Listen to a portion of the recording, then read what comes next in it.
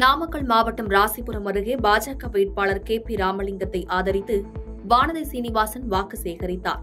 அப்போது பேசிய அவர் மோடி தான் மீண்டும் பிரதமர் என்பதை இந்திய நாட்டு மக்கள் ஏற்கனவே முடிவு செய்துவிட்டனர் எனவும் ராகுல் காந்தி பிரதமர் ஆவார் என்ற நம்பிக்கை இல்லை எனவும் கூறினார். மேலும் அரசியல் அனுபவம் வாய்ந்த கே பி ராமலிங்கத்திற்கு வாக்களிக்குமாறு கேட்டுக் கொண்டார். மோடி அவர்களுக்கு மீண்டும் ஒரு வாய்ப்பை இந்த இந்திய நாட்டு மக்கள் கொடுக்கறதுக்கு தயாராயிட்டார்.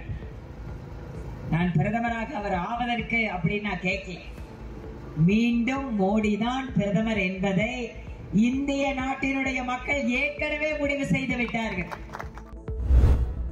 விருதுநகர் பாராளுமன்ற தொகுதிக்கு உட்பட்ட முக்குராந்தல் பகுதியில் காங்கிரஸ் கட்சி வேட்பாளர் மாணிக்கம் தாகூரை ஆதரித்து மதிமுக பொதுச் செயலாளர் வைகோ பரப்புரையாற்றினார். அப்போது பேசிய அவர் திராவிடத்தை ஒழிப்பேன் என்று எந்த ஒரு பிரதமராவது பேசலாமா என கேள்வி எழுப்பினார். நானே திராவிடத்துடன் இருக்கும்போது இருபத்தி நான்கு முறை சிறை சென்று உள்ளேன் என்று கூறினார். இப்படி தியாகத்தால் உருவாக்கப்பட்ட கட்சியை அழிப்பேன் என்று பிரதமர் கூறுவது வன்மையாக கண்டிக்கத்தக்கது என்று கூறினார். இறுதியாக மாணிக்கம் தாகூருக்கு கை சின்னத்தில் வாக்களிக்குமாறு கேட்டுக் கொண்டார்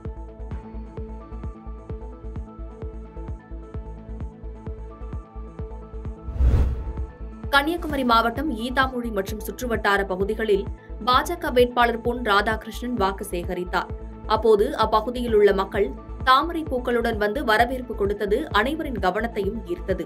அப்போது பேசிய அவர் கடந்த ஐந்து ஆண்டுகளில் கன்னியாகுமரி மாவட்டத்தில் வளர்ச்சி திட்டங்கள் அனைத்தும் கிடப்பில் போடப்பட்டுள்ளன எனவும் மீண்டும் பாஜக வெற்றி பெற்றால் கிடப்பில் போடப்பட்ட வளர்ச்சி திட்டங்கள் அனைத்தும் நிறைவேற்றப்படும் என கூறினார்.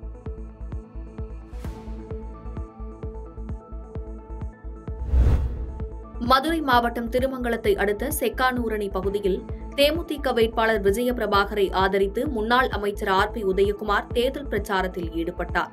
அப்போது பேசிய அவர் ஒரு சீட்டுக்காக ராதிகா சரத்குமார் தனது கட்சியை அடகு வைத்து விட்டார் என்று விமர்சித்தார்.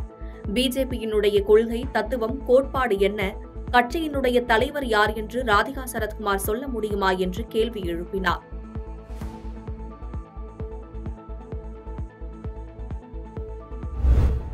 நெல்லை நாடாளுமன்ற தொகுதி மேலப்பாளையம் பகுதியில் காங்கிரஸ் வேட்பாளர் ராபர்ட் ப்ரூஸை ஆதரித்து அமைச்சர் உதயநிதி ஸ்டாலின் பிரச்சாரம் மேற்கொண்டார். அப்போது பேசிய அவர் மோடி தமிழகத்தில் வீடு எடுத்து தங்கினாலும் ஃபேன்சி ட்ரெஸ் ஷோ நடத்தினாலும் மக்கள் ஒரு தொகுதியில் கூட பாஜகவை ஜெயிக்க வைக்க மாட்டார்கள் என விமர்சித்து பேசினார். பாதகம் செய்பவரை கண்டால் நாம் பயங்கொள்ளலாகாது பாப்பா. மோதி மிதித்து விடு பாப்பா அவர் முகத்தில் உமிழ்ந்து விடு பாப்பா. அண்மை செய்திகளை உடனுக்குடன் தெரிந்து கொள்ள இணைந்திருங்கள் இயம் நாடு தொலைக்காட்சியுடன்.